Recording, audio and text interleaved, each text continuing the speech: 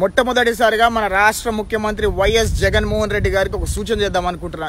ఎందుకంటే వైఎస్ జగన్మోహన్ రెడ్డి గారు పేద ప్రజల పట్ల ఏదో ప్రేమ ఒలకపోస్తున్నట్టు పేద ప్రజల పట్ల ఏదో గౌరవం ఉన్నట్టు నటిస్తున్నారు కదా. జగన్మోహన్ రెడ్డి గారు మీకు సూటిగా సూచన చేస్తున్నా. మీకు నిజంగా పేద ప్రజల పట్ల గౌరవం ఉంటే పేద ప్రజల పట్ల ప్రేమ ఉంటే గనక మన రాష్ట్రంలో రాష్ట్ర ప్రభుత్వం దగ్గర చాలా చోట్ల మంచి భూమి ఉంది. దయచేసి ఆ భూములలో సెంటు భూములు ఇస్తారో లేదంటే పది సెంట్లు ఇస్తారో లేదా వంద సెంట్లు ఇస్తారో పేద ప్రజల పట్ల ఇవ్వండి. ఎవరు వద్దనట్లేదు.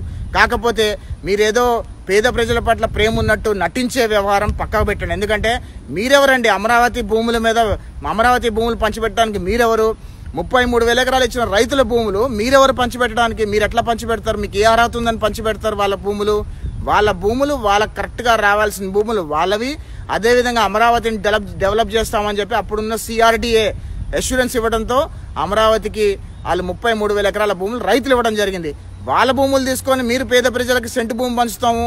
ఆ సెంటు భూమి పంచుతుంటే చంద్రబాబు నాయుడు అడ్డుపడ్డాడు లేదంటే పవన్ కళ్యాణ్ అడ్డుపడ్డాడు లేదా బీజేపీ అడ్డుపడ్డదని చెప్పి ఎందుకు ఈ నాటకాలు ఎందుకు? ఈ నాటకాలన్నీ పక్కకు పెట్టండి. ప్రభుత్వ ఆ భూములు చాలా మంచి భూములు చాలా ఉన్నాయి. అర్థమైందా? విజయవాడలో కానీ గుంటూరులో కానీ అదేవిధంగా కడపలో కానీ అంతెందుకండి? దగ్గర దగ్గర పదమూడు వందల ఎకరాలున్న ఇడుపులపై ఎస్టేటే ఉంది. మీకు అంత ప్రేమ ఉంటే కనుక పేద ప్రజల పట్ల ప్రే- ప్రేమ అదేవిధంగా ప్రేమ ప్రజల పట్ల గౌరవం ఉంటే మీ ఇడుపులపై ఎస్టేట్లో సెంటు భూమి అందరికీ ఇవ్వండి తలా సెంటు భూమి ఇవ్వండి పదమూడు లక్షల మందికి భూములు ఇవ్వచ్చు ఆ రకంగా చూసుకుంటే మీకు అది కూడా చేత కాకపోతే రాష్ట్ర వ్యాప్తంగా గత ప్రభుత్వం దాదాపు పదిహేను లక్షల ఇల్లు కట్టడం జరిగింది డబుల్ బెడ్రూమ్ ఇల్లు. ఆ పదిహేను లక్షల డబుల్ బెడ్రూమ్ ఇల్లు మరమ్మతులు చేసి అన్నీ మంచి చేసి వాళ్ళకి ఇవ్వండి. అంతేగాని ఎంతసేపు ఏదో కుట్రలు చేయాలని చెప్పి ఏదో పేద ప్రజలకు మేము ఏదో ఇద్దాం అనుకుంటుంటే ప్రతిపక్షాలు అడ్డుపడుతున్నాయి లేదంటే బీజేపీ అడ్డుపడుతుంది లేదంటే తెలుగుదేశం పార్టీ అడ్డు అడ్డుపడుతుందని చెప్పి అన్ని రకాల కుట్రలు చేయడం మానేయండి సార్. మీకు దయచేసి మీరు రాష్ట్ర అభివృద్ధి కోసం పాటుపడండి. ప్రతిపక్షాలను నిర్వీర్యం చేసే పనికి పులి స్టాప్ పెట్టండి. మీరు ఎందుకు ప్రశ్నించే వాళ్ళ మీద కేసులు ఎందుకు పెడుతున్నారు? ప్రశ్నిస్తే మీరు కరోనా వైరస్ ఎక్కించి చంపించేస్తున్నారు. ప్రశ్నిస్తే కొట్టి చంపించేస్తున్నారు. ప్రశ్నిస్తే కారులో కూర్చోబెట్టి దాని మీద పెట్రోల్ పోసి తగలబెట్టి చంపేస్తున్నారు. అదే ప్రశ్నిస్తే దొంగ కేసులు పెడుతున్నారు. ప్రశ్నిస్తే జైలులకు పంపిస్తున్నారు. ఈ అంత ఎందుకు మీకు? ఇన్సెక్యూరిటీ ఎందుకు? మీ పరిపాలన అద్భుతం అనుకుంటే మీకు నిజంగానే ప్రజలు నూట యాభై ఒక సీట్లు ఇచ్చారనుకుంటే కనుక మీరు రెఫరెండంకి వెళ్ళండి అమరావతి మీద. లేదా మీకు అంత ధైర్యం ఉంటే కనుక మీ నూట యాభై మందిలో మీకు కావాల్సింది గవర్నమెంట్కి కావాల్సింది తొంభై మందే కదా? మిగతా అరవై మందిని రాజీనామా చేయించండి. రాజీనామాకు చేయించి ఎలక్షన్స్ పంపించండి అరవై మందిని. మీరే చూస్ చేసుకోండి అరవై మందిలో ఎవరు ఉంటారనేది చూస్ చేసుకోండి అరవై మందిని ఎలక్షన్స్ పంపించండి మీరు ఇరవై మూడు సీట్లు వచ్చిన ప్రతిపక్షాన్ని రాజీనామా చేయమని అడుగుతారు. మీకు నాయకుడిగా ఏ లక్షణాలు ఉన్నాయో ఎవరికి అర్థం కావట్లేదు. దయచేసి ప్రజల పట్ల ప్రేమ పేద ప్రజల పట్ల గౌరవం ఉంటే కనుక సామాన్య పౌరుడికి ఎంతో కొంత చేయాలనుకుంటే కనుక దయచేసి మీ సరిగైన పరిపాలన అందించండి. అంతేగాని ప్రతోడు రాష్ట్రంలో ప్రజలందరూ మీ కాలి కింద ముష్టి ముష్టి తీసుకునేలాగా బతుకుండాలని చెప్పి రాష్ట్రాన్ని నాశనం చేసి అదేవిధంగా రాష్ట్ర ప్రజల భవిష్యత్తుని భావితరాల భవిష్యత్తుని నాశనం చేసేసి రాష్ట్రంలోకి రూపాయి పెట్టుబడి తీసుకురాకుండా ఆఖరికి కేంద్ర ప్రభుత్వ సంస్థలు కూడా మన రాష్ట్రంలో పెట్టుబడి పెడతా అంటే అవి కూడా పెట్టుబడి పెట్టనీయకుండా వాళ్ళకి రాయితీలు ఎక్కడ ఇవ్వాల్సి వస్తుందో అని చెప్పేసి వాటికి కూడా పెట్టుబడి పెట్టనీయకుండా అడ్డుపడుతుంటే ఇంకా రాష్ట్రంలో ఉద్యోగాలు ఎట్లా వస్తాయి?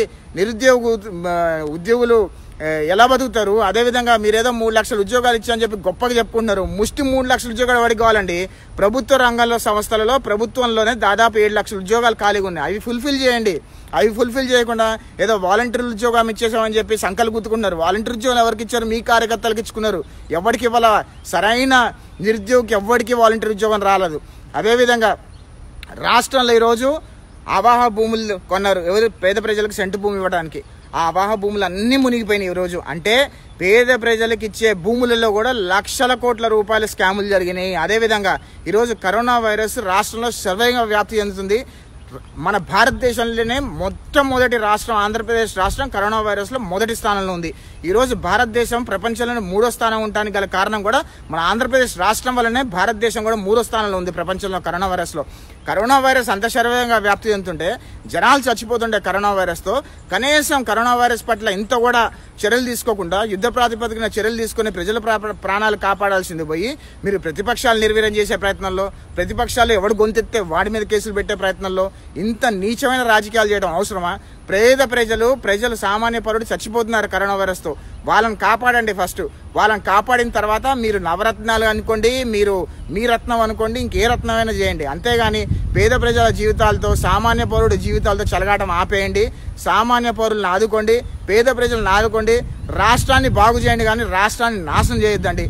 జై హింద్ జై తెలుగు తల్లి.